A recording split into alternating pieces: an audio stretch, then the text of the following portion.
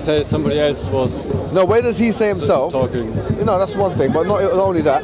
It doesn't say that you are God.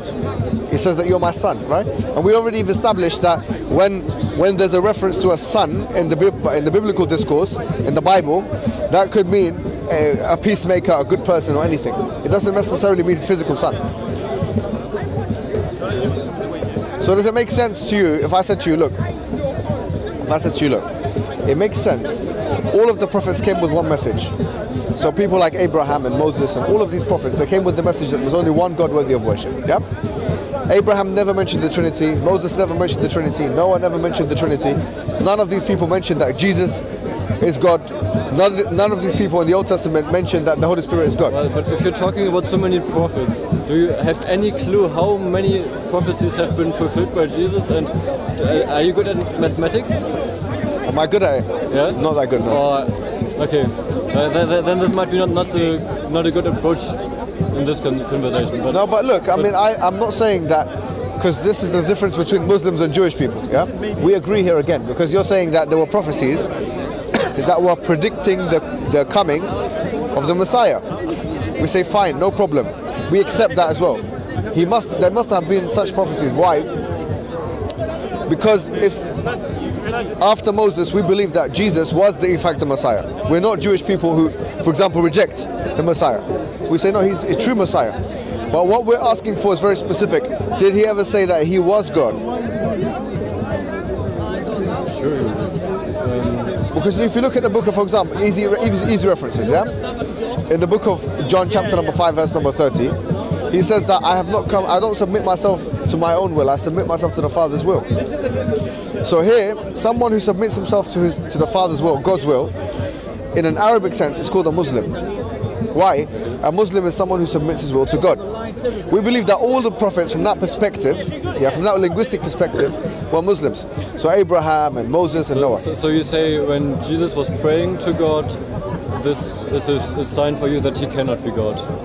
Or you, you would say if somebody is praying, he cannot be God. Yeah, I mean, he says in the Bible, Okay, so uh, the Father is greater than I. Okay, and then what, what do you say if Allah is praying at any point in the He, don't- he never, he never does. Are you sure? Yeah, Okay. Allah is praying. yeah, praying. Yeah, he doesn't. Allah is, is just the Arabic word for God. Yeah, yeah, he knows that. So Okay. how is God praying to who? Th- th- that would be my question for you. Yeah, but it doesn't say anything like this in the Quran. There is nothing. Okay.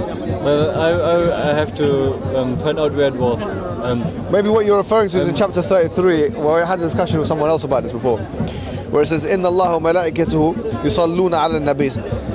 Yeah, this verse that Allah and His angels send blessings on the messenger. Ah, okay, so just Now the word, yeah, blessings. Right. So it says, "Sallu alayhi wa sallimu taslima."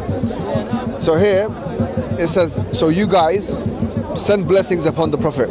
Now the word sal, salli, salli yusallu. This this this verse, this word here, some people might get confused and think because it means prayer in one way. Some okay, we're praying to him. No, God doesn't pray to the Prophet Muhammad. We believe that this is in context of that verse. It's talking about sending blessings. So God sends blessings to the Prophet. He never prays to him. That's why, as Muslims, we believe that Allah is one. He's the all-knowing, all-hearing, all-magnificent, and that He sends prophets for time. People like Prophet Noah and Moses and Abraham, we believe in them. All of them had the message, which is to believe in one God and to worship one God. Jesus came with exactly the same message. So we believe that Jesus didn't come with anything new. He didn't change the, he didn't reinvent the wheel. The Trinity is a new concept which was introduced by the Roman Empire, we believe. It's not something which was necessarily either biblical, number one, or preached by Jesus at all, number two. So we say that doesn't it make sense to follow what Jesus Christ himself said for us to follow, which is to believe in the one God and to worship in him, just like Jesus did. didn't Jesus some, somewhere say that we shall follow him? Yeah, we follow him. A Christian, by definition, is someone who follows Jesus, yeah? He says, I am the way, the truth, and the life. Okay, we believe that Jesus is the way, the truth, and the life. Yeah, see?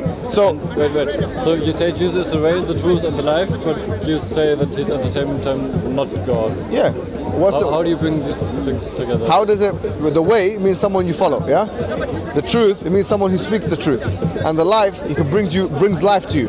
So in other words, if you follow his teachings, you will be you'd have life given to you. You'd be like a newborn baby. Now, what were his teachings?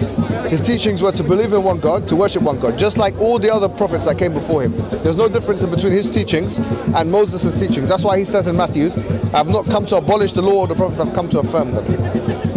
right? So we say that there was no difference. That all of these mighty prophets and messengers came to, to worship God and that Jesus did nothing but the same thing. And but the only difference is this. You'll find that Jesus Christ, yeah, he was sent to his people in his time. That's why he said, do not go in the way of the Gentiles, because I was only sent to the, uh, to the lost of Israel. Whereas we believe that the final prophet Muhammad, he was not only mentioned in the Bible as someone who's going to come in the future, but he was also said that he was going to, uh, he's also sent for all of humanity. And that's why it says in the Quran, that we have sent you kafatan lil-nasi walakin akthar an-nas la. That we've sent you for all of humankind.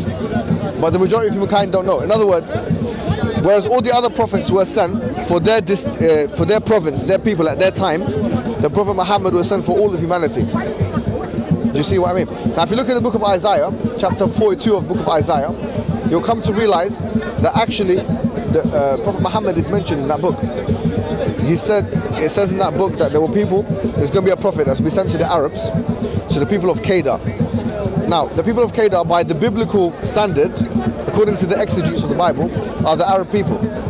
We're saying that who was sent as a prophet to the arabs? But he wasn't sent to the Kedar, uh, Kedarites. He was only sent to the people of israel right?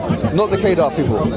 And didn't Jesus at any point move towards No. K- Kedat or what was it called? If you look at if you look at the book of Ezekiel, in, in somewhere like chapter 32, verse 29, something like this, yeah, it's very clearly this, uh, noted there that uh, uh, Abraham had two sons, uh, two sons, Ishmael and Isaac. Ishmael, he settled, he settled in uh, that area.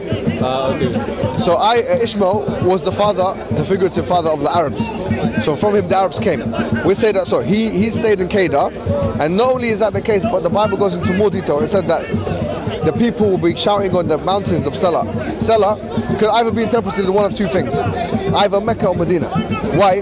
Because we have now Salah is, a, is actually a mountain range in Medina, which is exactly the city where the Prophet Muhammad uh, lived.